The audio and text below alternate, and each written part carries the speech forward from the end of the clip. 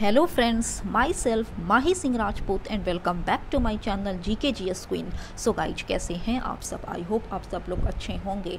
तो फ्रेंड्स आज फिर से मैं आप लोगों के लिए करंट अफेयर का 25 क्वेश्चंस का सीरीज़ लेकर आई हूँ।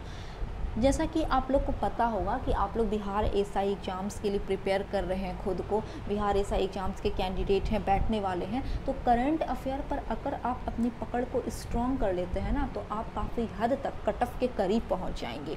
और डेली बेसिस पे तो मैं सेट जो प्रोवाइड करती हूँ, उसमें लेटेस्ट करंट अफेयर होता नहीं है चूँकि बिहार एसआई का एग्ज़ाम टल रहा है बहुत टाइम से। हालाँकि दिसंबर में प्रिडिक्ट किया गया है कि इसका एग्ज़ाम होगा मे बी ये हो जाए। तो अगर आप करंट अफेयर्स अभी से पकड़ बनाते हैं स्ट्रॉन्ग करते हैं तो आपका कटअप काफ़ी हद तक आप कटअप के करीब हो जाएँगे। मैं पहले भी अपने चैनल पर करंट अफेयर डेली बेसिस पर प्रोवाइड कर रही थी, बट वहाँ पर आप लोग उतना इंटरेस्ट नहीं दिखलाए करंट अफेयर में, जिसकी वजह से मुझे उसे रोकना पड़ा। तो अगर आप आज से करंट अफेयर के इस टॉपिक को कंटिन्यू इंटरेस्ट लेकर पढ़ते हैं, जैसा कि आप टेस्ट सीरीज़ में लगाते हैं तो मैं डेली बेसिस पर इसे भी प्रोवाइड करूँगी। तो चलिए आज का वीडियो स्टार्ट करते हैं। वीडियो स्टार्ट करने से पहले अगर आप मेरे चैनल पर नए हैं तो प्लीज़ मेरे चैनल को जाकर विज़िट करें। वहाँ पर मैं continuously specially Bihar SI candidate के लिए टेस्ट सीरीज़ करवा रही हूँ। इसके अलावा आपको मेरे चैनल पर 2021 के Ghatna Chakra Bihar special Bihar SI and enforcement sub inspector के previous year questions already uploaded मिलेंगे। और भी मेरे चैनल पर आपको बहुत कुछ पढ़ने को मिलेगा, सीखने को मिलेगा तो आप पर्सनली मेरे चैनल को जाकर विज़िट करें। और वहाँ पर अगर आपको मेरा वीडियो एग्ज़ाम के पॉइंट ऑफ़ व्यू से बेनिफिशियल लगता है यूजफुल लगता है तो प्लीज़ फ्रेंड प्लीज़ मेरे चैनल को सब्सक्राइब लाइक और ज़्यादा से ज़्यादा फैमिली एंड फ्रेंड्स के साथ शेयर करना ना भूलें। आप मुझे फेसबुक एंड इंस्टाग्राम पर भी फॉलो कर सकते हैं, जिसका लिंक मैं आपको डिस्क्रिप्शन बॉक्स में प्रोवाइड करूँगी। For P D F and latest update please join with me on Telegram channel and link is given in description box तो चलिए, यहाँ पर क्वेश्चन नंबर फ़र्स्ट दिया हुआ है कि हाल ही में किसे टोक्यो पैरालंपिक खेलों के लिए भारतीय दल का ध्वजवाहक चुना गया है। Option A is correct, Mariyappan Thangavel को। नेक्स्ट है कि हाल ही में कौन उत्तराखंड के ग्यारहवें मुख्यमंत्री बने हैं? Option B, Pushkar Singh Dhami.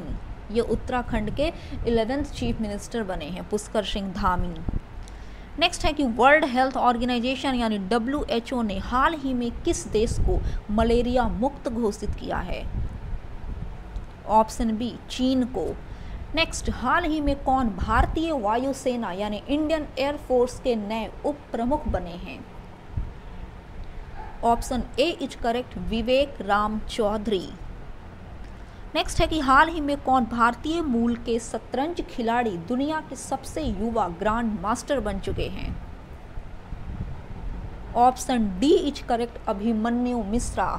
Next Bharat भर में प्रति वर्ष नेशनल चार्टर्ड अकाउंटेंट डे यानी नेशनल सीए डे कब मनाया जाता है? Option C is correct first of July को। चलिए आगे है कि कौन सा राज्य हाल ही में भारत का पहला रेबिज मुक्त राज्य बन चुका है? Option D, Goa. नेक्स्ट, हाल ही में कौन सभी प्रारूपों में भारत का प्रतिनिधित्व करने वाली सबसे कम उम्र की क्रिकेटर बनी हैं? फीमेल क्रिकेटर हैं। तो इसका correct answer option number B हो जाएगा सेफाली वर्मा, जो सबसे कम उम्र की क्रिकेटर बनी है सेफाली वर्मा। नेक्स्ट है कि प्रति वर्ष विश्व क्षुद्र ग्रह दिवस कब मनाया जाता है? Option C is correct third of June को। हर वर्ष विश्व क्षुद्र ग्रह दिवस मनाया जाता है। किस तिथि को? सॉरी थर्ड ऑफ़ जून नहीं फ्रेंड तीस तीस जून को। नेक्स्ट है कि प्रति वर्ष विश्व सोशल मीडिया दिवस कब मनाया जाता है? Option A is correct 30 June को, यानी 30 जून को विश्व सोशल मीडिया दिवस और विश्व क्षुद्र ग्रह दिवस, ये दोनों डेट, ये दोनों जो कार्यक्रम हैं, दिवस हैं, वो मनाया जाता है। चलिए, आगे है कि हाल ही में कौन Indian Federation of United Nation Association, यानी I F U N A, के नए अध्यक्ष नियुक्त किए गए हैं। बतलाइए, कौन नियुक्त किए गए हैं? अजय ठाकुर, जमन मेमन, शंभुनाथ श्रीवास्तव या रविंद्र चावला? यहाँ पर जो नई नई नियुक्तियाँ होती हैं ना, पोस्टों पे अलग अलग विभागों में तो वो आपके एग्ज़ाम के पॉइंट ऑफ़ व्यू से काफ़ी ज़्यादा बेनिफिशियल और इंपॉर्टेंट है। तो इसका correct answer option number C हो जाएगा, यानी शंभुनाथ श्रीवास्तव। नेक्स्ट हाल ही में कौन डोप टेस्ट में फेल होने वाली पहली भारतीय महिला क्रिकेटर बनी हैं। देखिए, सबसे कम उम्र की तो अभी हम लोग पढ़े शेफाली वर्मा हैं, बट डोप टेस्ट में फेल होने वाली पहली भारतीय महिला क्रिकेटर बनी है, option D is correct, Anshula Rao. Next, हाल ही में भारत ने किस आधुनिक मिसाइल का सफल परीक्षण किया है? Prithvi prime, Akash prime, Agni prime या नाग प्राइम? बतलाइए। इसका correct answer option number B हो जाएगा, यानी अग्नि प्राइम। नेक्स्ट है कि हाल ही में स्वच्छ भारत पुरस्कार 2020 के तहत किस राज्य को प्रथम स्थान प्राप्त हुआ है? तो आप बतलाइए, स्वच्छ राज्य की श्रेणी का दर्जा दो स्वच्छ भारत पुरस्कार 2020 के तहत किसे प्रदान किया गया है? बिहार को, गुजरात को, महाराष्ट्र को या मध्य प्रदेश को। Option C is correct, Gujarat को। नेक्स्ट है कि हाल ही में भारतीय मूल के किस दिवंगत अंतरिक्ष यात्री के नाम पर वाणिज्यिक अंतरिक्ष यान लॉन्च किया गया?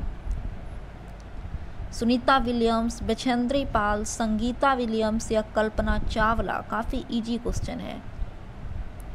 It's correct answer is option number D यानी कल्पना चावला। चलिए, आगे है कि हाल ही में चिकित्सा के क्षेत्र में नोबेल पुरस्कार 2020 के लिए किसे चुना गया है?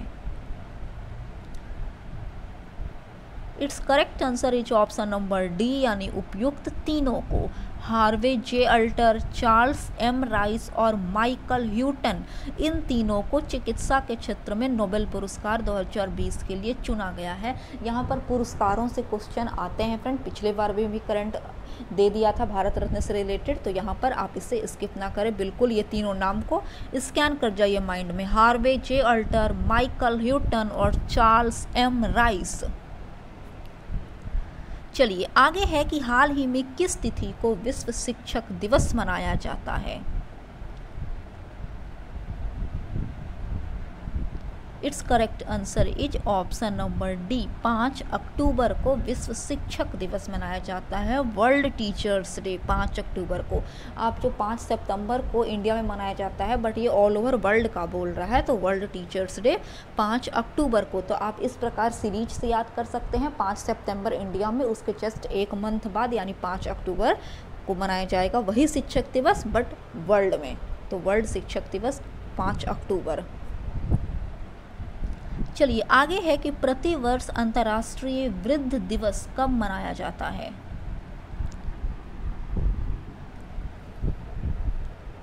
It's correct answer is option number A first of October को, यानी महात्मा गांधी जयंती के एक दिन पहले अंतर्राष्ट्रीय वृद्ध दिवस मनाया जाता है। तो सीरीज़ वाइज इस टाइप से आप अगर याद करेंगे तो याद करना आसान हो जाएगा, मेरे पॉइंट ऑफ़ व्यू से। चलिए आगे है कि केंद्र सरकार ने 24 सितंबर 2020 को कितने राज्यों को खुले बाज़ार से 9,913 करोड़ रुपए अतिरिक्त कर्ज लेने की मंजूरी दे दी है।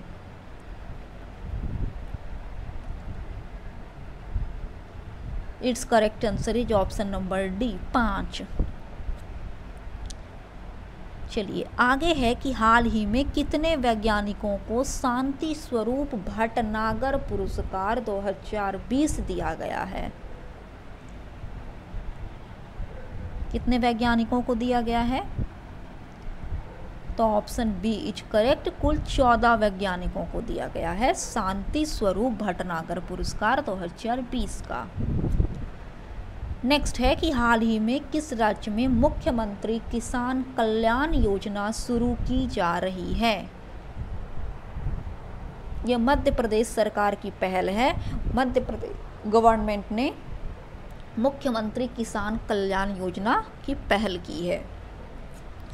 चलिए, आगे है कि प्रति वर्ष कितने वर्ष से कम आयु के भारतीय वैज्ञानिकों को शांति स्वरूप भटनागर पुरस्कार दिया जाता है? ऑप्शन सी 45 वर्ष से कम एज के जो इंडियन साइंटिस्ट होते हैं ना, उन्हीं को शांति स्वरूप भटनागर पुरस्कार प्रति वर्ष दिया जाता है। चलिए, आगे है कि हाल ही में भारत और किस देश के बीच एक प्रत्यक्ष कार्गो फेरी सेवा की शुरुआत की गई है? Option D, is correct, Bharat और मालदीव के बीच। नेक्स्ट है कि हाल ही में भारतीय फ़िल्म एंड टेलीविज़न संस्थान, यानी एफटीआईआई सोसाइटी के नए अध्यक्ष कौन बने हैं? Option C, Shekhar Kapoor. तो इस वीडियो का लास्ट क्वेश्चन में आ रहे हैं हम लोग। तो चलिए फ्रेंड, ये था इस करंट अफेयर सीरीज़ का लास्ट क्वेश्चन। सॉरी, यहाँ पर 25 में 24 क्वेश्चन ही आपको प्रोवाइड किया गया है। तो आई होप आपको आज का वीडियो यूजफुल लगा होगा एग्ज़ाम के पॉइंट ऑफ़ व्यू से बेनिफिशियल लगा होगा। अगर आपको मेरा वीडियो अच्छा लगता है तो प्लीज़ मेरे चैनल को सब्सक्राइब लाइक और ज़्यादा से ज़्यादा फैमिली एंड फ्रेंड्स के साथ शेयर करना ना भूलें। तब तक के लिए जय हिंद, जय भारत।